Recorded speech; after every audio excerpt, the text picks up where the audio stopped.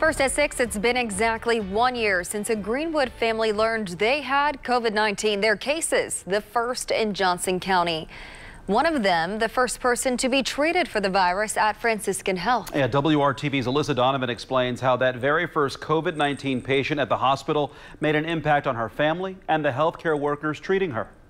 Mary? Yes. Hi. It's exactly a year from today at 10 o'clock at night. We got a call from Johnson County Board of Health and said all three of us tested positive. Mary and Mike McQueen and Mary's mother, Emily Whalen, were the first cases of COVID 19 in Johnson County. And who would have known that it would have gone this far? After her mother's symptoms worsened, McQueen brought her to Franciscan Health. Whalen, the first COVID 19 patient to come through the hospital doors. I just remember there was a lot of um, a lot of confusion. There was a lot of, you know, everyone was scared. McQueen was sent home while her mother was placed on oxygen and admitted.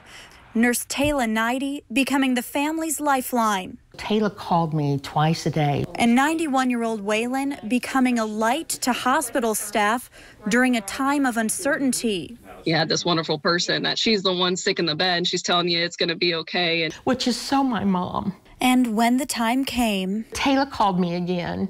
She said, Your mom has gone under, and uh, the hearing is the last to go. And she said, I want you to talk to your mom. And uh, so I did, and we talked.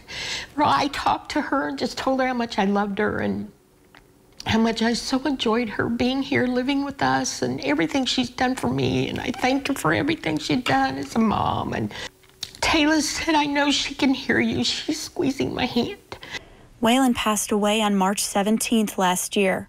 She was the first person to die from the virus at Franciscan Health. Since then, around 2,000 patients have been treated for COVID 19 at the hospital.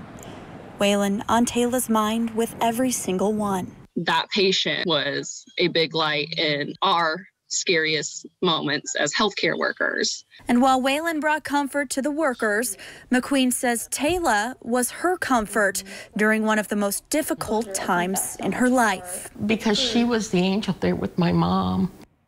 I'm Alyssa Donovan, WRTV. 91-year-old Emily Whalen was the second person to die from COVID-19 in the state. Her daughter says the family finds peace in knowing their mom lived a very full life and was a source of positivity to those around her until the very end.